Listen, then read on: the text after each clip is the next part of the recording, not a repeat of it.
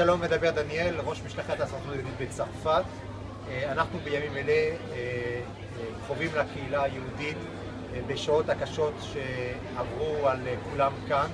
אנחנו מצד אחד גם מתגברים את הפעילות שלנו בקרב המועמדים לעלייה, מצד שני אנחנו קשובים לצורכי הקהילה ועוזרים לה להתמודד מול הפחדים ומול הבעיות החדשות שצצו בימים האחרונים.